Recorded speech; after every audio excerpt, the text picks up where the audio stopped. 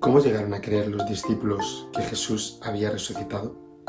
En el Yucat lo explica muy bien, porque lo vieron con sus ojos y lo experimentaron en su cuerpo.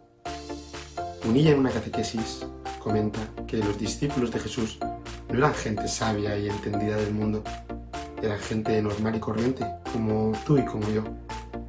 Ante un acontecimiento difícil, ante un sufrimiento, lo que nos sale es la incredulidad, como les salió a ellos.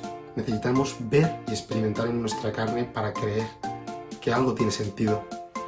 Por eso mismo Jesús, que los conocía muy bien, igual que nos conoce a nosotros, se presentó físicamente ante ellos. No fue un acontecimiento sobrenatural, sino que se presentó físicamente delante de ellos para que pudieran verle, para que pudieran tocarlo, comer con él.